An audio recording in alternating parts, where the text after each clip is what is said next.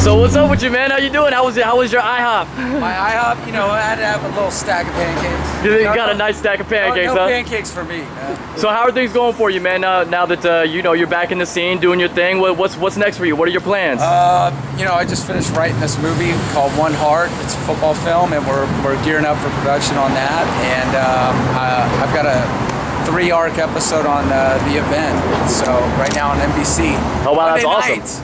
So I'm just I'm glad to be back and working in the business. the event is cool, man. Like everybody's watching that show. It's got a lot of ra- high ratings, man. Yeah, yeah, it's a great show. It's a great cast, and um, that's it. That's all I've been doing. It's work, work, work. I have to.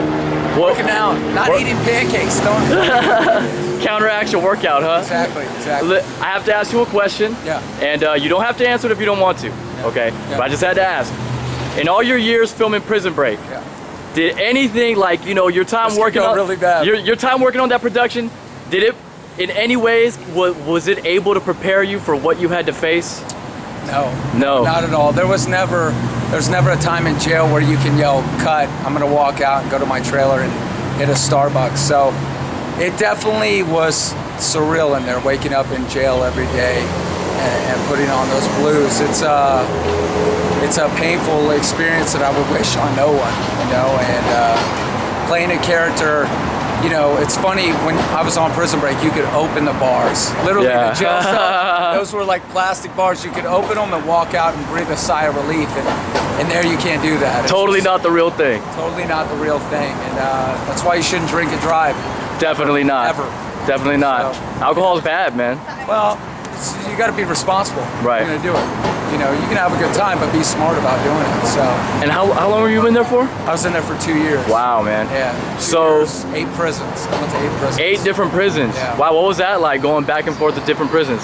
Uh, Your worst nightmare. I mean, you, you know, you establish yourself on a prison yard, and the next thing you know, you're being uprooted about 3 a.m. And the way that works, they strip you of your clothes, and you're naked in a Damn. cell for about 13 hours, and then they chain you.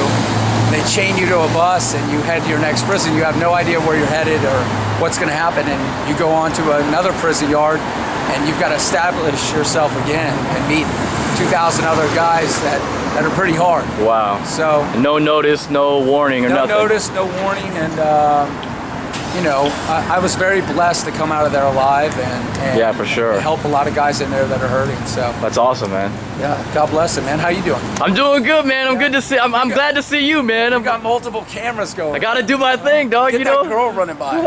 Oh, you've been you missing you've been missing a lot of hot chicks, Oh. man. They all be walking by here. Uh, the beautiful.